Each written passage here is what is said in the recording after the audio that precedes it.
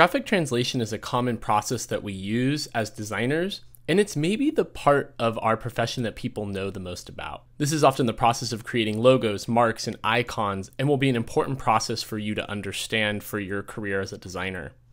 Graphic translation is the process of abstracting, simplifying, and stylizing an object from the real world. The outcome should be a simple and easily recognizable symbol or mark that represents accurately the original real world object. Simplification is the process of making something simpler. This allows it to be easier to understand and recognize. Oftentimes, abstraction is used in conjunction with the concept of simplification, but not always. So, simplification is where we take a complex object, maybe a photograph like we will in this assignment, and we look at how can we simplify and take elements out of that object, but still have it be recognizable and also work in a more graphic context. Abstraction is the process of reducing something down to its most basic form in simple shapes. It helps us communicate a large amount of information through the simplest shapes possible. So abstraction is similar to simplification in that we are simplifying, but abstraction is actually going to change the way that an object is rendered and abstract it to help in that simplification process. So they're related, but they're not quite the same thing. And we'll look at some examples down the line. The last one is stylization. Stylization is the addition of style or reference to your work. It can also aid in simplification or abstraction, but it is more about the mood or style of the object or mark.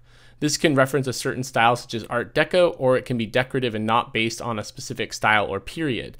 This is where we sometimes change the way something looks, render it in a certain way to make it reference something specific. So it can be a period like Art Deco or Art Nouveau or Constructivism, but sometimes it's just referencing something else. Maybe it's a certain style of architecture that your logo is going to appear on. Maybe it's potentially referencing something stylistically related to a culture that it relates to.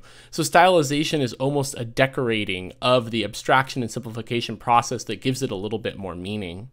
Here's an interesting example. This is a cicada, and we're seeing these stages of simplification and abstraction. This is actually from 1905 from a magazine called Ceramic Studio. This was done by Hugo Froelich. And you can see that as we go from A to J, there's a process of simplifying and abstracting that happens. And this is very similar to the process that you will be using on this assignment. We're going to start with rendering something very realistic or as realistic as we can. And then we're going to slowly look at how can we simplify and how can we abstract that in order to find that sweet spot. Where is that spot where we have something that is abstracted and simplified and still recognizable as the original object, but we haven't gone so far that someone wouldn't be able to identify what we're looking at? So I think in this one, J is a good example. We've gone much too abstract with J. I think if you didn't see A through H, you wouldn't know that that's a cicada and so I think that's an example where maybe something like F or G are a better sweet spot in this situation. They're simplified, they're abstracted, they're more symbol based, but they're still identifiable as the cicada itself. Here's another piece from a famous book called Understanding Comics. This is by Scott McCloud. He's from Boston, Massachusetts. And he's using this in his book, Understanding Comics, to talk about the process of abstracting. So here he's showing this same process, but with someone's face. So on the left, we have a photograph of someone's face, and then he's showing how you can strip down the image to get to something that is more simple, which is something we would see in a comic book. He also talks about finding those essential meanings, right? Finding those specific details that are important that helps you identify this specific person that you want to amplify and use that can make something even more recognizable. Here's another professional example of this. This is the Shell logo evolution. The current version we see down there on the lower right is by Raymond Loewy but a lot of other people have worked on this project. So when Shell was first founded in 1900, you can see in the upper left that there's a shell that was used to represent this company, but I think a lot of us would have a really hard time identifying that as a shell.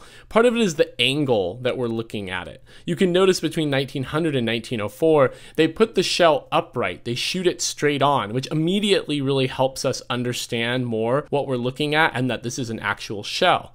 So this is something important to think about. As you're working on this project, you get to select the image that you'll use. And it can be really helpful to select something that's a little bit more iconic, that's maybe shot more straight on. You want to select the photo carefully that you translate from because it might make it easier to create something that's recognizable at the end. So if you can imagine if you started with a shell that's photographed like the first one at 1900, you're setting yourself up to not be that successful. And that was really solved in the 1904 version and carried out all the way through the modern day version of this logo where they picked a different source material that is going to set them up to be more successful to have this be recognizable as a shell. But then I also think it's interesting as you look at all of these evolutions, how this has slowly been simplified and abstracted over time to the logo that we know today. It slowly erodes away some of the information to make something that's even more graphic. If you look from 1948 to 1955, you can see that they're really cleaning things up. They're really making the lines more intentional they're getting rid of some of that noise and some of that more illustrative quality to make something that's more of a vector oriented mark. And then I love the 1961 and the ones that follow where they're actually making it work better in one color. And then eventually we could say that it might be hard to identify as a shell if we didn't know that this company was Shell and they hadn't been using this logo for over a hundred years. But through time and repetition, they've allowed us to really understand that that abstract shape with those radiating lines represents a shell. So a great example example of seeing this process over time. And sometimes this happens with logos, although for this assignment, we really want to set you up for success from the beginning so that we can create something that's a little bit more successful, abstracted, simplified, but also identifiable. Here's a professional designer's process that I wanted to show. This is Mark Blaustein. He works in New York City, and this is for the New York Public Library rebrand. So this was a rebrand of the entire New York Public Library.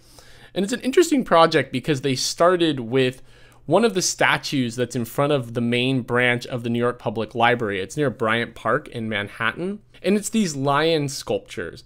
And you can see that he is taking a photograph of that lion and he's blocked out the space around its head. He shot it from a certain angle. And then he works on a little bit of a process that we are going to do in this class. He's posterizing and thresholding that photo to see light and dark. And then you can see that he starts actually drawing the lion. So he's looking at drawing it exactly how he sees it. And initially, it's a little bit hard to identify. The shapes don't have good gestalt. There's not good cohesion between the pieces, which makes it hard to identify. So he continues that process. And you can see here something very similar to what we will be doing. He starts shooting it from a different angle or identifying it from a different angle. He starts cropping it differently, which you can see in the top middle. He starts actually putting in a circle, which gives it stronger gestalt. He also explores other angles, like a complete profile in the lower right but eventually settles on this lower angle that's really working well and gives it a little bit more of a dignified traditional look. Then you can see that process all the way to the lower right with that final logo that they still use today. The other thing that's interesting about this logo is the way it's used. I love these tote bags on the left where they're able to blow up the logo and crop it on that tote bag to just show the face, but it's still really recognizable. And then I also think the right is interesting, where the logo works really small. Because one of the reasons why we go through that simplification and abstraction process is we don't always know where these logos and marks are going to live. And oftentimes there's situations where they're going to be this small. That logo is tiny. You can see it next to that fingernail that it is just absolutely tiny, but it's still identifiable and it still works. And that's where a lot of the value of abstraction and simplification comes in. When things are correctly simplified, correctly abstracted, they can really work in a lot of scenarios where that logo might appear, which is really vital to the success of a logo. Here's some other examples. These are some leaf studies. These are just studies by an artist where they're looking at different ways to abstract and simplify a leaf. Some of these maybe aren't really identifiable as a leaf any longer, but you can see that process and just the variety that you can create as you explore that process of abstracting, simplifying, and in some case here, stylizing. In the upper right, there is a little bit of stylization happening where they're putting these kind of checkerboard plus symbols inside of the leaf. That would be an example of stylization but it's just great to see the variety. So as you're working on this, we really encourage you to explore a lot of different ways to simplify and abstract, but we do want you to start with something that's more realistic and slowly work towards something that's more stylized and abstract, and that again will help us find that sweet spot. Here's some fish as well. These are done with cut paper, which is kind of an interesting concept. That really helps you focus on positive negative space. It also helps you work in one color. On this assignment, we're only going to work in black and white, and that's really vital because good logos should work in black and white. Chances are there will be a scenario where color will not be able to be used. Maybe they sponsor a marathon and are on the back of a shirt with a bunch of other logos in one color. You need to have a solution where that logo would work in that scenario. And I find by working in black and white, you'll create a logo that definitely works in one color, but I also think in the end you'll create a stronger mark because you'll pay more attention to positive negative space and lean less on color, which can sometimes be used as a crutch to make logos successful. The other thing that's fun about these examples is the way that they're having air flow through the mark. Especially the one on the right, there's sort of this wave-like shape, organic shape that runs through the middle of the fish. You'll notice this as a technique in a lot of good logos. There's pieces that don't quite connect. They're not connected through positive space, but because they're close together, we're using that concept of closure in Gestalt that helps us connect these things as one piece. The middle one does that as well. So that can be another great thing to explore in this assignment. We also want to explore marks that are solid. For the most part, good marks are going to be solid and focus on fill. They're going to be shape based. We don't want marks that focus too much on line work. They're going to be weak. They're not going to work as well in small sizes. So it's really important in this assignment to think about things using shape and being filled as opposed to having line work. I think when you first start out with this process and you're working with simplification and abstraction, sometimes you'll naturally go towards that line work, but really focus on the shape, really focus on making these solid because it's really gonna make a better outcome in the end. And it doesn't mean you can't start with line work and then we'll know that you're going to fill those things in as you work in the computer. But I think it's good from the outset to really think about this as a shape based exercise as opposed to line. Here's some houses. So different ways to render houses. You can see that we go through some simplification and abstraction to the point where some of these aren't really identifiable. There's also some stylization happening in the lower right too, where they're adding these circles that really aren't a part of the actual image. They're just stylizations that are being added on top. But it's a little bit of an interesting process similar to what you might do. You can also tell that the upper right one is a good example of what I was just talking about. That line-based mark is not as strong or successful as the houses that are solid, particularly that upper left one. The solid shapes are much more successful, they're stronger, they'll also work better in reduction. Another reason to keep that in mind and a good example of that. But let's look at owls. So we're gonna look at owls here mostly because there's a lot of great examples of owl logos and we have a lot of source material that we can look at.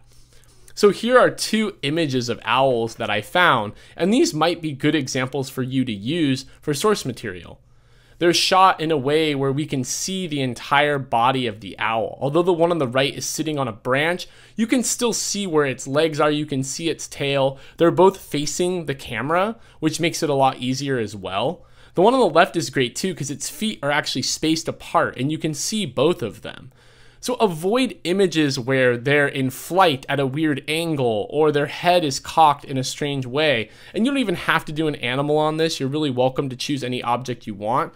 But I wanted to start by showing examples of good source material because these will really help you execute and do a good mark in the end on this project. So here's some examples of vintage illustrations of owls. These are both more line based, so they're not quite logo like, which is something we want to avoid. But I think you can start seeing how, as you look at images, illustrations, and marks that are related to owls or really anything, you'll see that they're always positioned in this way that makes them easy to identify. Again, they're facing the camera. Sometimes there's symmetry involved, like the one on the right. Sometimes that can be a really good thing, and oftentimes symmetry is created when something is facing the camera directly. Here's some work from Sarah Jane. She's a designer out of Denver, Colorado. And this is a student project that was done when she was in university to rebrand Temple University's athletics logo. They are the Owls. So this was a fun team project that happened in the classroom when she was a student, done in collaboration with a fairly famous designer who does a lot of athletic oriented logos and illustrated logos like this. His name's Joe Bosack. But you can see this process of looking at these owls. Here they're exploring some with the whole body at the bottom, but they're also exploring some with just the head. And it's really interesting to see all of these different sketches that Sarah created. And this is very similar to what you're going to be doing at the beginning of this assignment. Once you identify that source material, you're really going to be working through and trying to draw a lot of different versions so that we can figure out what direction is going to be best. And that's very, very common in graphic design and interaction design. In anything you do, we're often going to be creating options, looking at a lot of different ideas and then distilling that down to what the best ideas are. Oftentimes, your first idea is not your best idea. Here's another student from that same class. This is Brett Sweeney. He's a designer now in New Jersey. But here's a bunch of different logo options or sketches of an owl that he's trying. And what I love about this too is some of these aren't that great. Some of these aren't recognizable as an owl. He's just exploring and trying a lot of things, and I want to empower you to do that as well. But some of these are really successful. Some of these start hitting and start making sense. And sometimes it's great to sketch like this because you'll start building. You'll have a good sketch and then you'll try it again in a different way and you'll, you'll keep revising. You'll keep working on that idea and slowly over time it will get more successful. And so Brett really starts honing in on this one idea. It's more of the face, it's more of an abstraction. It's actually the second row from the bottom, and it's the fourth one from the left. You'll see it's just the eyes with this sort of V like shape, and then this semicircle oval that doesn't complete that contains the head. And he pushes that further and then takes it into the computer and starts to vectorize that. He also explored other ideas which are really great too, but you can start seeing how this evolution happens. And this is another step that you'll be going through on this process. As we start identifying sketches that are successful, we're going to bring them into computer and start exploring how we can execute them and what's the best way to execute them and how can we make that idea better by using the computer and Adobe Illustrator to bring your idea to life. And some of these are better than others. I particularly enjoy the one on the top right or the middle row on the left where we're playing with positive negative space where there's a lot of air that's able to breathe and we have a strong concept of gestalt. But there's some other ones that are really good here too, and the exploration of the different ideas is really important. But look at these. Here's a bunch of other owl logos. These are actual logos that are in the real world, professional real logos that contain an owl. And you could just start seeing the diversity of ideas. I think it's so easy to assume that everything's been done, but oftentimes there's so many different ways to abstract and simplify something or even stylize, right? Some of these are very stylized, like the lower left. That's a design studio and it's sort of an owl made out of pencils. The upper right is also fairly stylized too. That's a publishing icon. So it sort of has a book-like quality to it. So those are examples of stylization and how that can sometimes set apart what you've done. And then here's a random set of vector owls that I found by Stinia Ifani. And these are just on Vecteezy. This is something you can download and use. I mean, we could argue about which ones are really good and which ones are bad, and that, that's fine, but you can just start, again, seeing the variety of what's possible. There's so many ways to render an object, and I think it's easy to fall into the trap of assuming that it's already been done and how can I make this new? But I think actually part of the challenge and the fun is picking something that maybe has been done and sort of really working through this process of simplification, abstraction, and stylization to create something that's fresh and new because it's absolutely possible and it's really what we do on a regular basis as designers. Great logos have many layers of meaning. They allude to the service or business they represent without words. As you work through this assignment, you will be also tasked to explore adding more meaning to your sketches. This can come from research of the selected subject or through an arbitrary decision you will make about the use of your mark. There are many techniques that will help you in this process. So similarly to some of the logos that we looked at, those professional logos where there were pencils in the owl or there were kind of a reference to a book in the owl, sometimes when we add a double meaning, it makes logos even stronger. They become conceptual. They start having meaning beyond what the object is itself, which sometimes will allude to the business or the company that this represents. And this is something we want you to play with a little bit. It's not a requirement. You don't have to actually have your final logo have a double meaning, but in your sketches, we want you to explore this and understand these concepts. So to really talk about these three concepts of how we create meaning in a logo, I want to look at these three owl logos. So the one on the left is a barn owl mark by Neil Burnell. He works out of the UK. The middle is an owl mark made by Madi. This is someone on social media, and it's actually a free logo that you can download from freepik.com. I just found it and it really worked well for an example in this lecture. And the right is Love Owl logo, which is by Kenji TM. He's a designer out of Indonesia. So again, these logos are all owls and they all illustrate these different concepts, and that's why I've chosen them. And the first concept is the concept of addition. Addition, or sometimes known as insertion, is when elements are combined together and become more than the elements individually. The connection between these items helps hint at the meaning or the purpose of the graphic composition. So this first barn owl I showed is a great example of that. there's an addition or an insertion of a key that is being held by the feet of this owl that helps us understand that there's further meaning here. Maybe we don't know exactly what that additional meaning is, but it's telling us something about maybe the keys to knowledge or the keys to a certain place. That additional icon is really helping us understand that there's more meaning to this than it just as an owl. Then we have some other examples of addition or insertion. On the far left is a logo for unlocking potential. It's also a logo where I don't quite know who the designer was, but they've used a U and a P and they've combined them and added them together in a way that makes it look like a lock and that lock is unlocking. So they're actually creating a fun play with the name of this company and then actually the way that their icon looks. Another interesting one in the middle is a pencil logo. It's done by a South African designer. And we've actually added this small triangle at the bottom between the I and the L, which creates the illusion that there's actually a pencil there. So the addition of this small triangle actually creates a lot of meaning, creates a beautiful positive negative space logo solution, and this illusion that there's actually a pencil there. The far right is a logo I love as well. This is by Eric Baker Design. He's a designer out of New York City, and it's for Morgan Road Books. So there's actually these M's that are woven together, but parts of them are removed, and there's an addition of these rectangular elements in the middle, which sort of represents a road, a brick road of some kind, which is really creating a little bit more meaning of what the name of this company is. Another concept is substitution. Substitution is similar to addition in that something is being added to something else, but in this case, the element that's being added is being used in the place of something else. Again, this connection between these items helps hint at the meaning or purpose of the graphic composition.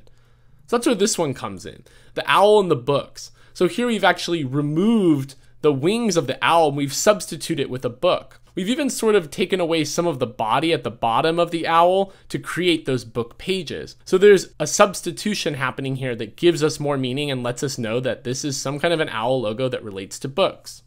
Here's some other examples. The logo on the left, which is for a nonprofit called Shelter. This was done by Johnson Banks in the UK. And the H has been substituted or modified to look like a house, which relates to the kind of work this nonprofit does. The middle is a piece by Lance Wyman. He's a pretty famous American graphic designer, and this is for the Minnesota Zoo, where they've substituted the lower right part of that M and turned it into a moose head, which helps you understand that this is somehow about animals. It helps you understand that this must be related to animals, and since this is a zoo, that makes sense. The far right is an interesting one too. This is by Brian Eagle. And this is where they've taken that E and they've substituted it for a heating conduit. So it's kind of hinting at this idea of oven, there's a heating conduit that's been run through this word. It's still readable as an E. We can still read the oven, but it also enhances and gives it more meaning. The last concept we'll look at is omission. It's sometimes also known as subtraction or missing link, but it's the opposite of addition, and that something is being removed to create more meaning. Sometimes removing something will make the viewer think about what is missing and fixate on the importance of that missing piece. This technique can also lead to a style driven solution that do not increase the meaning or understanding. Sometimes this is done stylistically as a part of the stylization process. Sometimes that omission actually creates further meaning and understanding of your logo or mark. So that gets us to this one. This is where the body of the owl is actually pulled out, and that negative space that's created is a heart, which helps us know this has something to do with loving owls. There's some relationship between the heart and the owl. But here's some other examples. The left is an interesting one. It's the Summit logo. And this is for a building restoration company. This was done by a designer, Joseph Tehan, in Dublin. And what's happening here is part of the letter forms on the right, the M, I, and T, have been removed to create the illusion of a cross on a hill, which for this building restoration company sees as the highest standard. So that's sort of what that means here is they're creating this cross on a hill which alludes to this higher standard of the kind of building restoration that they do. So by omitting part of those letter forms, they're creating this illusion which is giving more meaning to that mark. The middle one's a famous example by Malcolm Grear Design. It was designed in 2000. It's for the New Bedford Whaling Museum.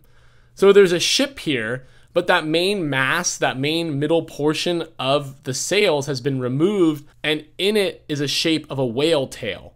So it's sort of hinting at this idea of whaling, which is also intrinsically tied to sailing and ships. And so they've created a double meaning here through that subtraction or that omission of part of the sails to make that whale tail. The one on the right's an interesting one as well. This is for a company called Slice. This was done by Manual, their design firm in San Francisco, California. And this is a company that makes cutting products.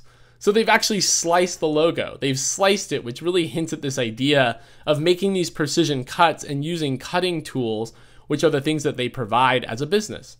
So these are great examples of the process of omission, how you can remove things from a logo to enhance its meaning. And these three strategies can be really useful to remember. Again, they're things we want you to explore in the sketching on this assignment, but it might not be that your final logo includes these kinds of meaning. But it's good to know and it's good to practice because it's something that is very often used in logo and mark design and something that you want to be well versed in. Let's talk about the specific assignment for this. The first step of this is to select an object and abstract it to reveal its core meaning. You want to begin with a photograph of the object or image and then explore its shape and shadows with the threshold and posterize functions in Photoshop. So these are all required phases of this project. First, you're gonna pick that photo. And remember, you wanna pick carefully, get the right angle, get something that's gonna work well and set you up to be successful. After that, you're gonna take that photo into Photoshop and you're gonna play with the posterize and the threshold options in there, which will help you see light and dark, it will help you see shadow, and it will help set you up to start drawing and sketching your ideas. Once you have sufficient source material, use tracing tissue, pencil, and marker to graphically simplify the image in at least three different steps. So you want a level 1, a level 2, and a level 3, and those should gradually reduce it to a more abstract and simplified state. So similar to that cicada example I showed, we really want you to start more realistic and then eventually move to something more simplified and abstract and then we'll review those sketches and determine where that sweet spot is and where we should work to execute in the computer. You want to be sure to keep all of these steps because everything that we're talking about needs to be put in the final PDF for submission. So the original image, all of the Photoshop work, all of these sketches that you're required to do at these different levels, all of that is something that you want to keep because it's required for grading. After you have simplified and explored abstraction of the object, begin to sketch stylizations of the simplified icon. Challenge yourself to try different line styles or rendering techniques that change the style and design of the icon. At this phase, also explore utilizing omission, substitution, and or insertion to add meaning to the icon. So once we sort of figure out that simplification abstraction, you're getting good ideas and you have some that you think are successful, we now want you to take those and play with stylization as well as adding meaning through the concepts that were introduced at the end of this lecture. So we want you to create some more options that really explore that. Remember again to focus on shape. It's really what we want here, but there's lots of ways to render shape and use omission, substitution, or insertion to create that meaning. Once those sketches are completed, you're going to post them to discussion and ultimately make a decision of the sketch or direction you would like to pursue. Then you're going to work in Illustrator to execute the sketch digitally using the pen tool and the shape tools. We have software tutorials that will help you through this entire process, but that'll be the next step and that will lead you to that final mark that you will create that you will turn in for grading with all of the material that you did to lead up to creating that mark. There is a template for this assignment that will help you keep things organized, and here's an example from a former student. So the student selected a horse, and you can see it's a great source image. The horse, you can see all of its legs. It's shot from a direct side view. You can see its head. This is setting the student up to be really successful. And then we can see that threshold in the middle and then the posterize on the right. And you can see how those really help you see light and dark. They already start to sort of simplify the image, which can make it less daunting to start to draw. As we go forward, here's some of the sketches. So we have the hand done sketches in the left and the middle. So you can see how we're starting in the upper left with something much more realistic. And then we're slowly working on simplifying and abstracting and then playing with some stylization as well. So you do need a minimum of eight sketches for this, but we encourage you to do more. It can be really useful to create more sketches on this assignment to really try out different ideas. And they don't even have to be quite this polished. Like the examples I showed of the owls, they can be a little bit more simple and a little bit more gestural, but it's really valuable to explore different ideas and again to figure out where you want to land in that ultimate simplification and abstraction level. Then on the right, we have the vector translation. So we want you to translate a few of these and start working on them in the computer. Sometimes it's also that you translate one and then you want to do it again to improve it. So sometimes it's not different ideas, although that's okay to explore too. but we want at least a few of these done in the computer so you can explore different ideas and are also working on a revision process to improve and make your ideas better. Then at the end, we have the final mark. So this is a great example. Wonderful use of positive negative space. It's shape based. I think it's definitely still identifiable as that original image. So really great example of what we're looking for at the end of this assignment. So this can be a little bit challenging, but don't forget you can always write your instructor to get more help, get questions answered. But I think it's an important project and something that I hope you'll embrace and have fun with because it is so vital to the work that we do as designers.